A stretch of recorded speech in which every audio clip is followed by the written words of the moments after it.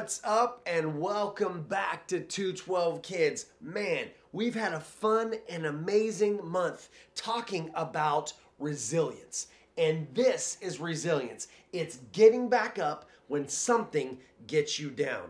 And that's something that we all need, right? I mean, all of us have things that knock us down in life, but with God's help, we can bounce back and get up and be resilient. And that's exactly what we're going to continue to talk about today.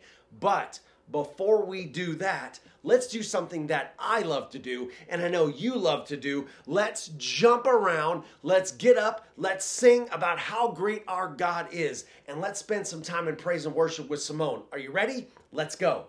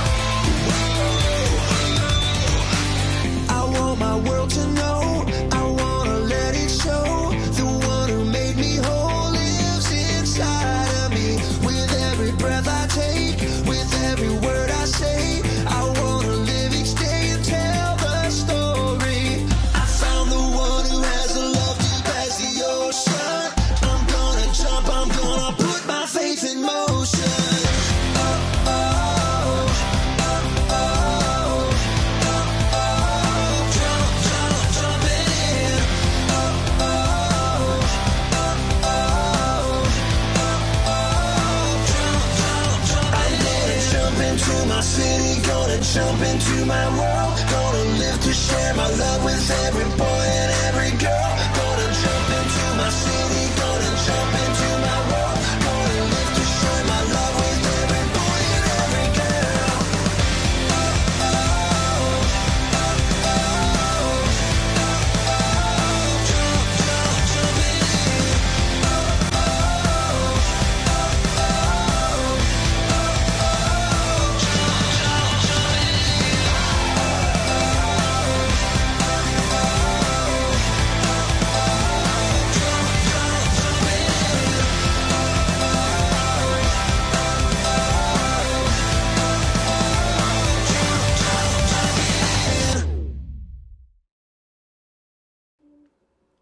Great job, friends. Well, hey, like I said, we've had an amazing month talking about resilience and how God can help us to bounce back when things get us down.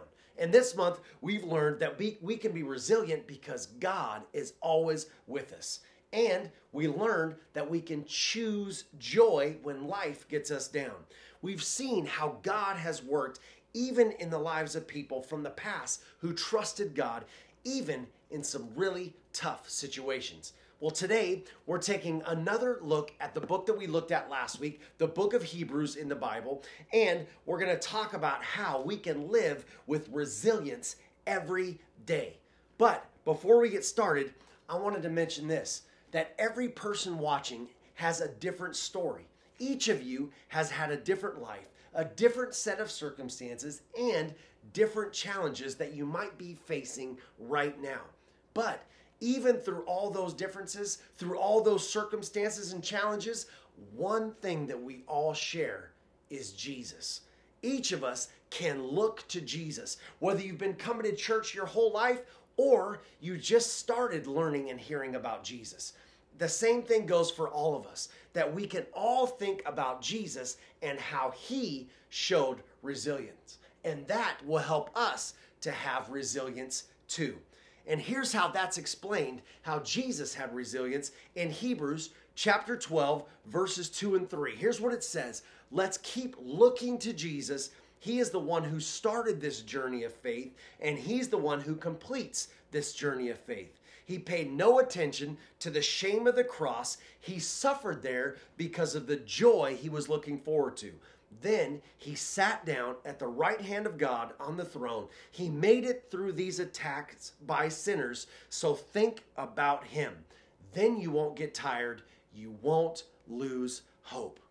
Pretty amazing, right? That when we're going through something that's tough, it sure helps us to remember that what Jesus did and what he was willing to go through for us.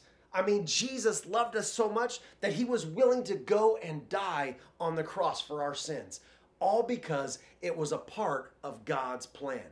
Now, here's something important to remember about this that when we say to think about Jesus and, and, remember how he was willing to go and die on the cross for you and me, the point of that is not to make you or me feel bad about ourselves or, or bad about our situation. In fact, it's the exact opposite of that. The point is is that if you think about Jesus, it should encourage you and give you strength to remember how strong Jesus was and to have hope remembering how much Jesus loves you. Those are things that will help us to bounce back when we're facing something tough, no matter how big or small it might be. And I actually want to illustrate for you what that looks like in your life. I have a couple of scenarios that I want to lay out for you, and, and we'll kind of act out some things, and you can see exactly how this can affect you. So let's see. I want to take a look at what it's like to be in school dealing with teachers, right? And homework and things that kind of get us down sometimes. So I'm going to be a teacher in this first scenario, right? And tell me if this kind of sounds familiar to you. Okay, class, I want you to open your books to chapter 7. We'll be multiplying fractions and decimals. Great, I'm never gonna understand this. Now, when multiplying fractions, we want to match up the numerators and multiply those, then do the same for the denominators. Wait, which one goes on top again? Do I cross multiply this? Now, once you've figured out multiplication, just go ahead and simplify the fraction if you can. There's nothing simple about this. Ah, I can't do this. Great. Let's move on to multiplying a fraction by a decimal. Wait, decimals? Those are two different things. I don't understand any of this. Does anyone have any questions? All right, everyone's got it? Great. Let's move on. Now, that was something that may have happened to you before. I know it's happened to me before that you know you're in class and you're trying to understand what the teacher's saying and you feel like the teacher is just speaking a different language. Sometimes you just don't get it. And that's not a good feeling, is it? You don't want to look like you don't get something and the other kids may think it's so simple. So, how do you bounce back from something like that? Well, sometimes resilience means having the courage to ask for help. And here's the thing that's true for a lot of things in life, not just math assignments. If something gets you down, talk to someone about it. Ask for help. Talk to God about it. And just like we read in the passage earlier, think about Jesus. Think about how he kept going and did what he had to do. Your math problem is not the same as Jesus having to go to the cross. But if you remember what Jesus went through and how he pushed through all that he had to do by going to the cross, it can help you and me to also push through. You know what, guys? Let's revisit that scene again and see how a little resilience might make things turn out better. Okay? Okay, class. Open your books to chapter 7. We're going to multiply fractions and decimals. Great. I'm never going to understand this. Now, when multiplying fractions, we want to match up those numerators and multiply those, then do the same for the denominators. Wait, Yes. Oh, you had a question? yeah. Which one goes on top again? Do I cross multiply for this? Great question. I can see how that can be confusing. What you want to do is line up the top numbers like this. Those are the numerators. Okay, got it. Then multiply them. Then line up the denominators. Those are the ones on the bottom. Okay, I think I got it. Then what do you get? 12 over 16. Wait, I can reduce that. Yes, you can. 3 over 4. Is that the right answer? Great job. Guys, see? See how different that was? Remember that if you don't understand something, ask for help. Teachers and parents and friends, they're all willing to help. They want to help you find the right answer. And when life gets hard, you know we can always ask God for help. Think about Jesus. Think about how Jesus faced the toughest things that anyone could ever face. And that's going to help you in times where you're struggling and you have challenges. I'd like to show you one more scenario and see how being resilient can help us to work it out. Well, in this scenario, I call it the injury. And we're in a doctor's office, right? Okay. Ugh, my leg hurts so bad. I just want to go home. Why do I even need to see the doctor? Ugh, great, here he comes. Well, hello. Yes, I, I, I know it's been two weeks here, it says, since the surgery. How are you holding up? Fine, I guess. Leg getting stronger? It was a pit, pretty bad break. It still hurts. Like all the time. Yeah, you know what? It, it actually might hurt for a while while you're recovering. But I can't do anything. I can't even like walk on it. It'll take time to heal, but that's one of the coolest things about our bodies. They are very amazing healers. But I'm gonna miss the entire basketball season. I know, it's rough. There's never a good time to break a femur. It hurts, bro. I wish I never broke it. It was really unfortunate, I understand, but you have to be strong. You'll heal, and soon you'll be up and moving around just like normal. I don't want to be strong. I want it to go away. Man, that was a tough one, right? Has anyone ever broken a bone or something like that before or gotten really sick? I know I have, and it's not fun. Sometimes when you're hurt or sick, it's almost unbearable because you just want it to end. You just want it to be over. And in that moment, you feel totally horrible. But it's like we were talking about before. We can find resilience when we think about Jesus, about how much Jesus loves us and what Jesus was willing to do for us. That can help us to bounce back even from the toughest situations. If you're feeling nervous or worried or sick or hurt, we can always talk to God about it. We can ask God to give us resilience that we need to push through those tough times. Because you know what? We know that there are good things ahead. And even in the worst of situations, God is always there with us.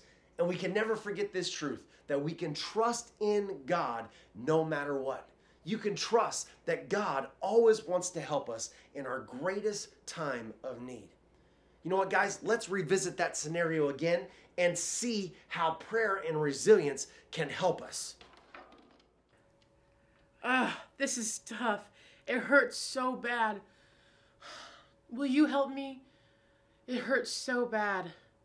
Please? Hi, it's been two weeks since the surgery. How are you holding up? Fine, I guess. Leg getting stronger? It was a p- pretty bad break. It still hurts. Like, all the time. But yeah, it's getting stronger. I must say, you've got a pretty good attitude about this whole thing. I mean, it hurts, but I have to go through this if I want it to heal. Pretty soon, I'll be up and around, and I might be able to stay with my basketball team. I think that's a great goal. Let's get you healthy. Man, isn't that great? You see how much prayer can help you see things differently? It helps you remember how much God loves you and that you're not alone. And it also helps us to remember that God loved us so much that he sent Jesus just for us. And Jesus loved you enough to go to the cross. And when you think about that, you can find the strength to bounce back from just about anything. Man, that was awesome. Well, listen to the words again from the from Hebrews that we read once before, right? And it was telling us to keep looking to Jesus. In Hebrews chapter 12, verse 3, it says this: Think about him. Then you won't get tired and you won't lose hope. Guys, in any situation that knocks us down or gets us down, we have to have extra resilience. We need to always remember that we need to think about what Jesus did for us on the cross, and that will help us to bounce back from whatever we're facing. And guys, that's our bottom line today. We want to keep going because of what Jesus did. Guys, let's pray because we want to make sure that we can focus on Jesus and not on our problems.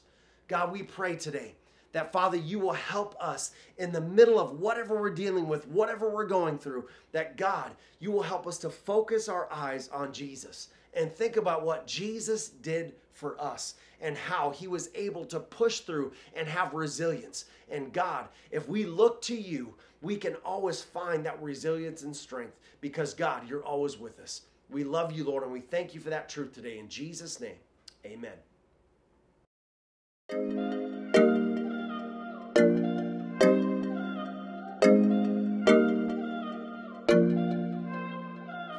ever let them tell ya you will never make it. They don't know the fighter inside. Just shake off all the haters. We all make mistakes. Yeah, we all fall down sometimes. But you gotta get up.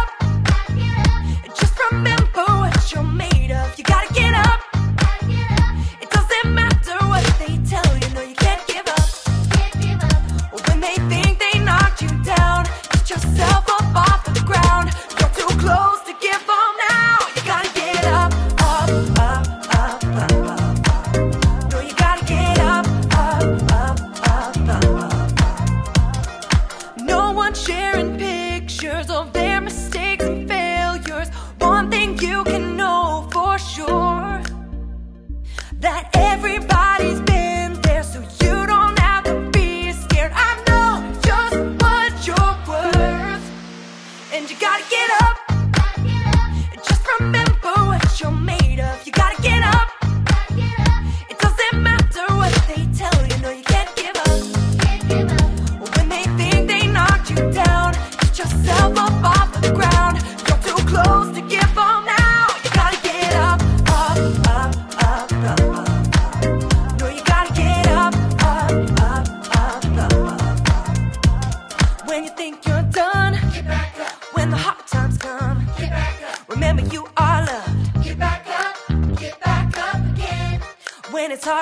Hear, get back up. Come on and crush your fear. Get back up. You're gonna persevere. Get back up, get back up again. And you gotta get up. Gotta get up. Just remember what you're made of. You gotta get up. Gotta get up. It doesn't matter what they tell you, no, you can't give up. When they think they knocked you down, get yourself up off the ground. You're too close to give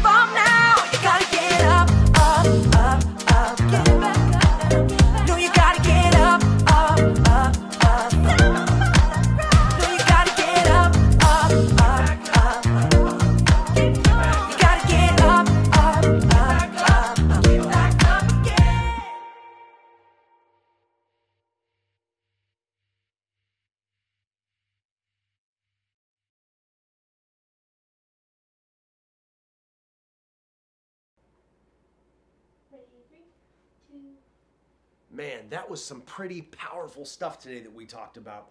You know, I know sometimes it's hard for me to actually remember and think about what Jesus went on the cross.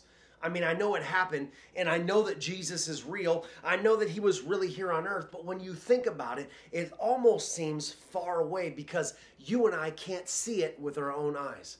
But guys, that's where faith comes in. Remember, we talked about faith and the heroes of faith? You know what? We weren't there, but I believe that it happened. I didn't see Jesus die on the cross, but I have faith to know that he did. He took away the sins of the world, including yours and including mine. And when I think about that, it helps me to bounce back and be just a little bit stronger. And that's our bottom line. We want to keep going because of what Jesus did for you. Guys, we can remember that Jesus paid the price for our sins on the cross. And he did that for you and he did that for me because he loves us so much.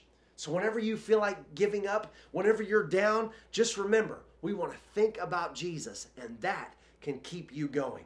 Man, what a great day and what a great month we've had here at 212 Kids. I'm telling you, God's got something great for us next month in June. I hope you'll stick with us. Until then, I love you. I'm thinking about you. I'm praying for you. And we'll see you next time here at 212 Kids.